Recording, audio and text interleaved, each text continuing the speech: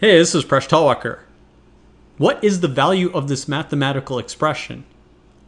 This math problem has gone viral and it has received millions of comments on Facebook, Twitter, YouTube, and other social media sites.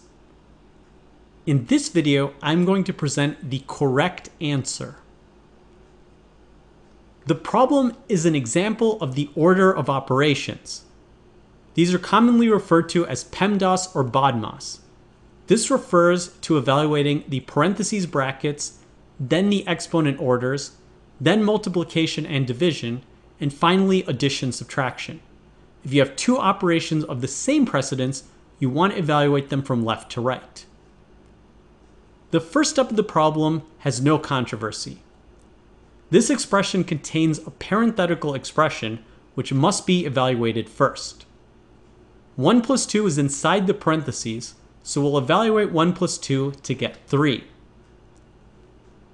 Now the question is what to do next. If you input this into Google, Wolfram Alpha, or pretty much any scientific calculator, the thing that's going to happen next is all of these will interpret the parentheses as an implicit multiplication. So this 2 parentheses 3 will be converted into 2 times 3. Now we continue the order of operations. This expression only contains multiplication and division. These are operators of equal precedence, so we'll evaluate them from left to right. Starting on the left, we have 6 divided by 2. 6 divided by 2 is equal to 3. We then have 3 multiplied by 3, one final multiplication.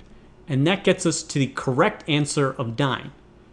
This is without a doubt the correct answer to this expression as written according to the modern usage of the order of operations. So why did this problem cause so much controversy? Well, there is another answer that you could argue from a historical perspective. So I actually found some documentation that the order of operations did have a slightly different understanding in certain texts in 1917 or before. So the first part of the equation is the same as before. We have a parenthetical expression, and this should be evaluated first. We have 1 plus 2, and that becomes 3. The debate then centers around this division symbol. So what does it mean that we have 6 divided by 2 parentheses 3? Well, there were textbooks, and there was a lot of usage that if you had this division symbol, where you had something on the left divided by something on the right, this was understood to mean you want to divide the entire product on the left by the entire product on the right.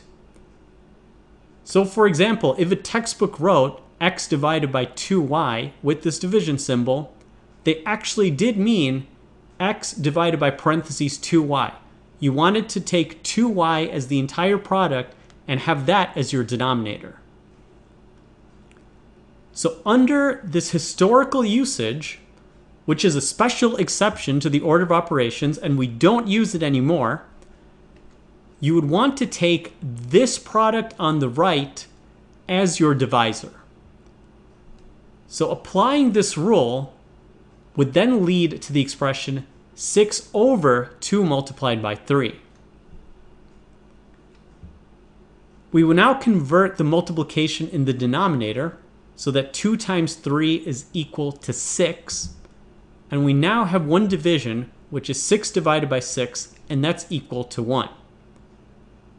So many people argue that 1 is the correct answer, and there is some historical justification of this because of the way that text used to use the division symbol. I would suggest this is probably because of some historical artifact about typesetting. It would have been much easier to write the division symbol and have the understanding you want to divide everything on the left by everything on the right. You wouldn't need to have an expression where you write a numerator over a denominator. That would take up a lot more vertical space. And you also would need to keep putting parentheses everywhere. This would be just something that would be understood. Today, we don't use this practice because it can be confusing. Instead, we follow the order of operations. if we want to have a fraction, we will put it as an expression like 6 over 6, which is written here. So the correct answer to this problem is 9, but there is some historical justification for the answer 1, but it's not how we would interpret the problem today. Did you get to the correct answer of 9? Thanks for watching this video. Please subscribe to my channel. I make videos on math and game theory. You can catch me on my blog, Mind Your Decisions, which you can follow on Facebook, Google+, and Patreon. You can catch me on social media at Presh Talwalkar. And if you like this video, please check out my books. There are links in the video description.